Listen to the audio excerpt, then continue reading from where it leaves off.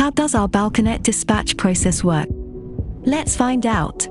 After you've decided to place your order with us, step 1 is to approve your final drawings. Step 2, we receive payment for your order. Step 3, you will receive an email confirming your order's lead time.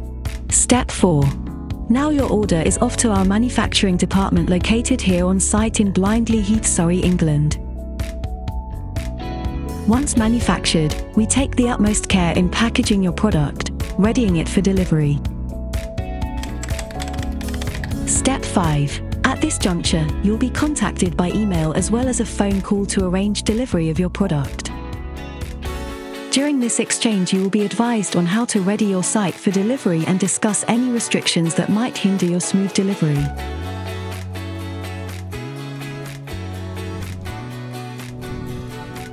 Step 6. Now that your site is ready for delivery, please ensure, if needed, the proper equipment for offloading is on hand to safely maneuver your order to its desired location. For more information on how we can help you create your own space, you can find us at www.balconette.co.uk.